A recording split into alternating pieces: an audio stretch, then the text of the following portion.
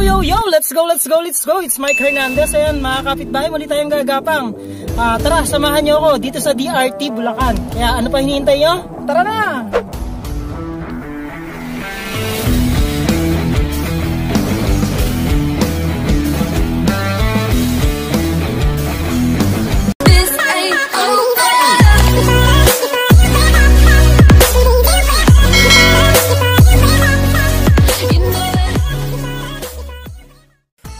Sa bayan ng DRT, matatagpuan dito ang magagandang tourist spot tulad ng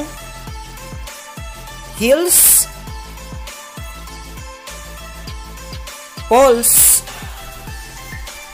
river, ang camping site, and more experience here in DRT Bulacan So ayun mga kapitbahay, uh, magka-camping tayo ngayon dito sa Camp Riverside dito. Kung tawagin siya, kilala siyang tawag dito ay Ilog Monte dito sa DRT Bulacan. Ay nakikita nyo, uh, ito yung bridge na una nyo makikita. Uh, then nando lang siya sa may side doon, yung Camp Riverside. Uh, ito, ito na yung tulay ng ano, Libunaw. Uh, medyo luma na siya, uh, pero i-renovate na rin siya. Kaya ano pa hinihintay natin mga kapitbahay? 1, 2, 3, 4! So ayun mga kapitbahay, nag-start na tayo. Uh, madadaanan dito yung mismong arko ng Sitio Madlum, Sibul, San Miguel, Bulacan. And bago ang lahat, uh, shoutout nga pala kay Ate Iling. Thank you Ate Iling sa iyong pag-invite sa soft opening ng yung Camp Riverside. And thank you, thank you Ate. Ayan, makikita niyo yung dalawang daan na to. Sa kaliwa tayo gadaan guys. And dire-diretso lang siya guys. Then ayan guys, uh, pag nandito na kayo, makikita niyo yung bridge na to, yung hanging bridge. Ayan, dinadaanan to ng mga tao papunta sa kabilang ilog. Kaya, andyan lang rin naman yung sa side. Ayun, yung Camp Riverside sa gawi lang na yun.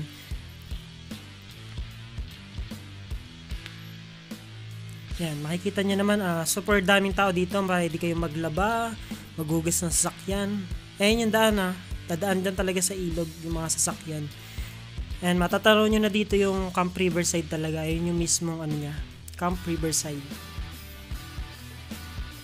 Ito yung mismong view niya. Ayan, super ganda talaga ng view.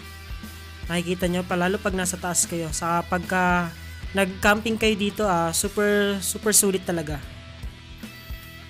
Pwede rin kayo maligo dyan. Ayan, dalhin nyo na yung mga labahin nyo kung kinakailangan. Ayan, makikita nyo yung mga kubo-kubo nila dyan. Ayan. Pinapa, pinaparent nila yan. Nire-renovate pa lang siya yung mismong Camp Riverside nung pumunta kami dito. Ayan, meron din mga ATV na pwede nyong arkilahin. Uh, meron silang ka kasosyo dyan. Then dito, uh, guys, meron din ditong ano, meron ditong 7-Eleven coffee shop. Ayan si ate. Super bait din yan si ate. Uh, nung unang bili namin dyan, meron kaming libre kay ate. Ayan, uh, magkakabit na kami ng aming tent para sa mamayang gabi. And may special dito kasi may event nga. Nimpisa na namin kasi medyo paggabi na din para makapagala-gala pa kami ng aking cameraman na to, si Emmanuel.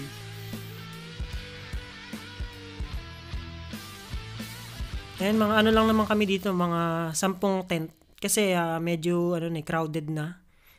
Kaya pinipigilan din naman yung sobrang dami ng tao. Saka ano pa lang, soft opening. Mamaya maraming tao dito guys. Kasi may mga dayo na manonood ng mga fire dance.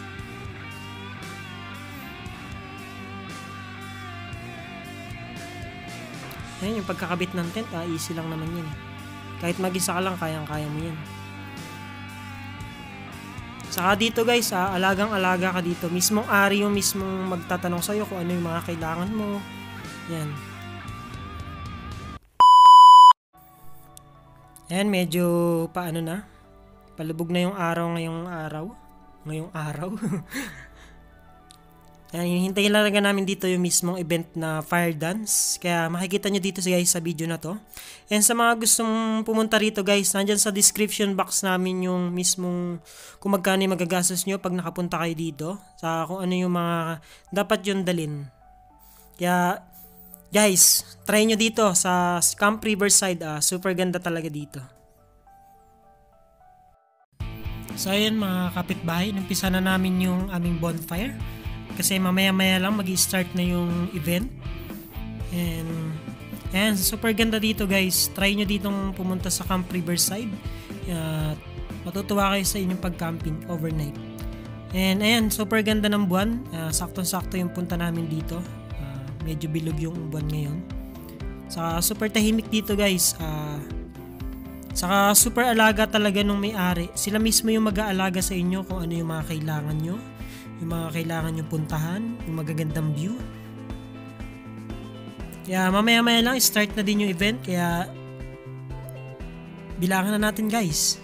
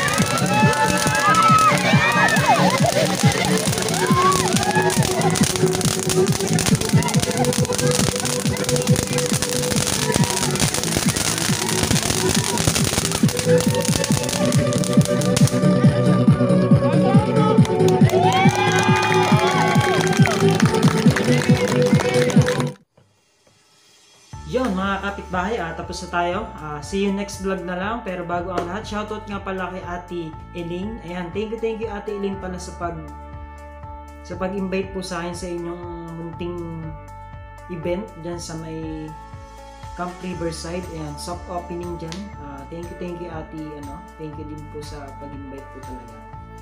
And shoutout din po pala sa aking mga member na nandyan pa rin. Ayan. Matagal lang natutulog yung aking bahay.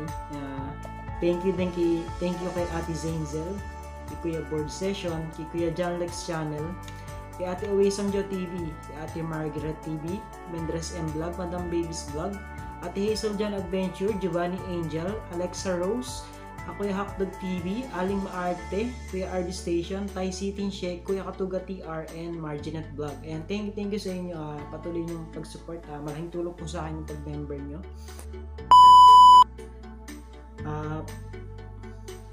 Yun guys, uh, thank you, thank you sa lahat and see you next vlog. Kita-kits na lang tayo in 1, 2, 3, 4.